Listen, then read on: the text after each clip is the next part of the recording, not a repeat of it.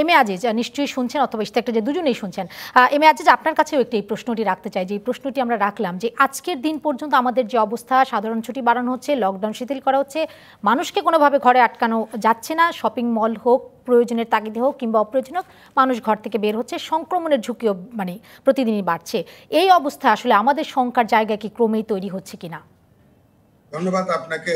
আজকে স্বাস্থ্যমন্ত্রী বলেছেন, আপনার আমেরিকা ইউরোপ এবং আমেরিকার চাইতে আমাদের অবস্থা ভালো আছে। উনি কোথার থেকে হিসাবটা করলেন আমার জানা নেই।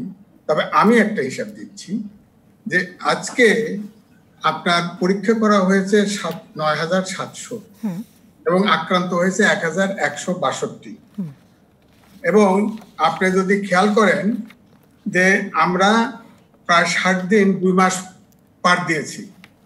এখন সবচাইতে ইউরোপের সবচাইতে আপনার যুক্তরাষ্ট্র এবং স্পেনে সবচাইতে বড় মহামারী হয়েছে।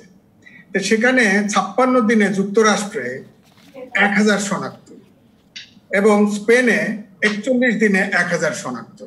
অর্থাৎ আমরা অবশ্যই ঠিক কাছাকাছি, অর্থাৎ আমরা ডিসেম্বরের তিরিশ তারিখে আমাদের প্রথম করোনা শনাক্ত হয়, তারপর থেকে আমরা কিন্তু খুব বেশি পিছিয়ে নাই অর্থাৎ তারা এরপরেই পনেরো দিনের পরেই তারা পিকে চলে গেছে। এবং আমরা যদি এই দুটো দেশের বিশেষ করে সারা পৃথিবীর এই দুটো দেশে এখন মহামারী এবং মৃত্যুর সংখ্যা আক্রান্তর সংখ্যা সবচাইতে বেশি ছিল। এবং সেই হিসাবে যদি ধরি তাহলে আমরা কিন্তু ওটার সাথে তুলনা করলে আমার মনে হয় আমাদের সামনে মহামারী অপেক্ষা করছে সেরকমই। তারপরে আমি বলব সেই দেশগুলোতে মোটামুটি ভাবে ডিসিপ্লিন ছিল। সবগুলোই প্রতিষ্ঠানের সাথে আন্ডারস্ট্যান্ডিং ছিল। এবং দেশে কম বেশি লকডাউন বলেন, নিয়ন্ত্রণ বলেন কিছু ছিল। কিন্তু আমাদের দেশে সব এখন উন্মুক্ত এবং কত কোনো কোঅর্ডিনেশন নাই। এবং আমাদের যদি আক্রান্তের সংখ্যা বাড়ে এবং আমাদের যে হসপিটালগুলোর যে অব্যবস্থাপনা, এটা ধারণ করতে পারবে না।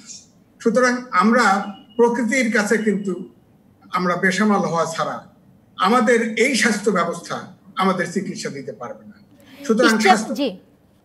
জি আরও শুনব নিশ্চয়ই আপনাদের কাছ থেকে। ইশতিয়াক রেজার কাছে এই প্রশ্নটি করতে যাই যে আমরা কি আসলেই প্রকৃতির কাছে হার মানছি? মানে এখন কি আমাদের আর কোনো কিছু করণীয় আছে? সংক্রমণের সংখ্যা প্রতিদিন বাড়ছে মৃত্যুর সংখ্যা বাড়ছে ধীরে ধীরে আমরা স্বাভাবিক জীবনযাপনে অভ্যস্ত হয়ে পড়ছি। যদিও তার মধ্যে আবার সাধারণ ছুটিও বাড়ানো হচ্ছে। কি একটা অবস্থা দাঁড়িয়েছে আসলে? স্বাস্থ্যমন্ত্রী যে কথাগুলো বলেন তাতে আমাদের এক ধরনের সংশয়ের মধ্যে পড়তে হয়। তখন মনে হয় যে আমরা বুঝি খুব আত্মতুষ্টিতে ভুগছি। বিষয়টা তো ঠিক তা নয়। এখানে আনোয়ার ইকবল মিঠু ভাই আছেন তিনি নিশ্চয়ই আরও বলতে পারবেন একদম হিসাব দিয়ে। যদি আপনার পনেরো শতাংশ আক্রান্ত হয় তাহলে তো এটা খুবই আমি টেস্ট কম করছি। টেস্ট যেই বাড়তে শুরু করছে ফিগারটা বাড়তে শুরু করেছে। এখন আপনি চিন্তা করেন এক লক্ষ লোক আমরা টেস্ট করেছি যদি পনেরো হাজার আক্রান্ত হয় তার হলো পনেরো শতাংশ আপনার। যদি এক কোটি লোক আমরা টেস্ট করতে পারতাম তাহলে কি হতো? একবার সেই চিন্তাটা যদি আমরা করি। তা আমরা সেই চিন্তাটা করতে চাই না। আমরা, ঠিক আছে, সরকার পিসিআর ল্যাব সংখ্যা বাড়ানোর ভিতর দিয়ে ধীরে ধীরে বাড়াচ্ছে। কিন্তু আমাদের আত্মতুষ্টিতে ভোগার কোথাও কোনো জায়গা আছে বলে মনে হয় না এবং আমরা আত্মসমর্পণ প্রকৃতির কাছে করব সেটাও তো বিজ্ঞানের যুগের ঠিক না। আমাকে তো একটা লড়াই করতে হবে এবং লড়াইটা করার কতগুলো বস্তুনিষ্ঠ বৈজ্ঞানিক ভিত্তি আছে প্রক্রিয়া আছে, সেটার ভিতর দিয়ে। কেন লকডাউন কেন আইসোলেশন কেন কোয়ারেন্টিন এই কেন চিকিৎসা, কেন ব্যাপক আকারে চিকিৎসার আয়োজন, এগুলো সবগুলোরই তো নির্ধারিত কারণ আছে যে আমাকে রোগের বিস্তারটা, ভাইরাসটাকে আমাকে মোকাবেলা করতে হচ্ছে, একটা অদৃশ্য ভাইরাস এবং আমাকে এটাকে নিয়ন্ত্রণে রাখতে হবে ফ্ল্যাটেন করে রাখতে হবে। আমার কার্ভটা যাতে উপরের দিকে চলে না যায় মিটু ভাই, আমি যদি ভুল না করে থাকি। এটাই তো আমাদের চেষ্টাটা।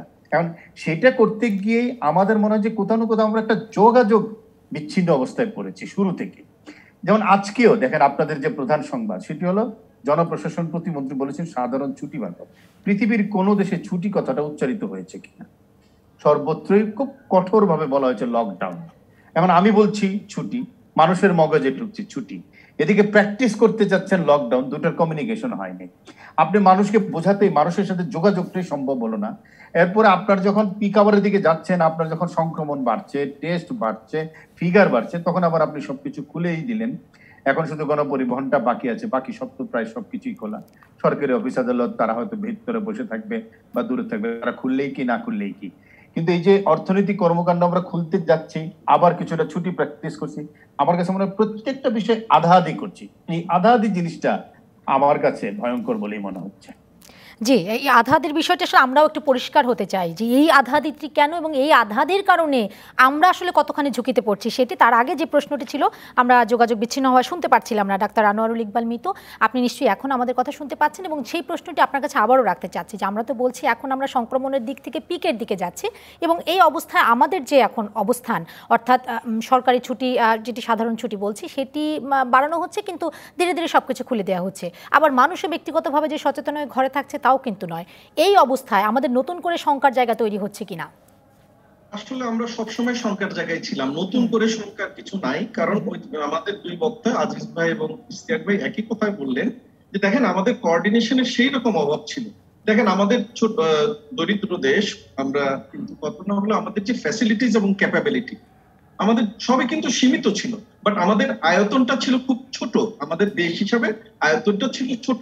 যদি সত্যি সত্যিকারের ভাবে আমরা লকডাউনটা দিতে পারতাম একদম আপনি মনে করেন যে একদম ফার্স্ট উইক থেকে যদি থার্ড উইক পর্যন্ত আমরা কারফিউর মতোই দিতাম ওয়ান ফর্টি ফোর দিয়ে দিতাম তাহলে কিন্তু আজকের এই চিত্রটা আপনার দেখতে হতো না। প্লাস যে কথাটা আপনারা কিন্তু আমার উত্তর দিয়েই দিয়েছেন যে আপনার সাধারণ ছুটি এখন ছুটি বলতে কি বুঝান আর লকডাউন বলতে কি বুঝি? এই জিনিসটার মধ্যে তারতম্য আছে ব্যাপক। যেমন ধরেন লকডাউন বলতে সেটাকেই বোঝায়। যেমন চায়নার একটা এক্সাম্পল দেই যেমন চায়নাতে আপনার ম্যাসাকার হয়েছে, তাদের মাধ্যমে আমাদের সব দেশে ছড়িয়েছে, তাদের অনেক মানুষ মারা গেছে। কিন্তু খেয়াল করেন, ওদের আপনার সাংহাই কিংবা বেজিং এ একটা কেসও হয় নাই। নট আ সিঙ্গেল আপনি এবার আসেন, আমরা আমেরিকা, ইউরোপ এতে বাদ দিই, আমরা সার্ক কান্ট্রি গুলোতে আসি। জাস্ট আপনি ভুটান দেখেন, আপনি নেপাল দেখেন, আপনি শুধু কলকাতাকেই দেখেন। মানে আমার মানে বক্তব্য এইটাই যে আমাদের পার্শ্ববর্তী দেশ সার্ক কান্ট্রি গুলো যদি লকডাউন দিতে পারে তারা যদি আপনার কন্ট্রোল করতে পারে, তাহলে আমরা কেন পারব না? আমাদের কিন্তু সেই ক্যাপাবিলিটিটা ছিল। কিন্তু এই যে মাঝামাঝি দোটানা ইকোনমি গরিব মানুষ, সবকিছু যদি আপনি একসাথে করতে গিয়ে কিন্তু আমাদের ঝামেলাটা হয়েছে। এই মুহূর্তে আমাদের যে যে জিনিসগুলো স্টেপসগুলো নেওয়া উচিত এখন ছিল সেটা ঠিক ছিল। কিন্তু আপনি আগে কন্ট্রোলটা করেন নাই।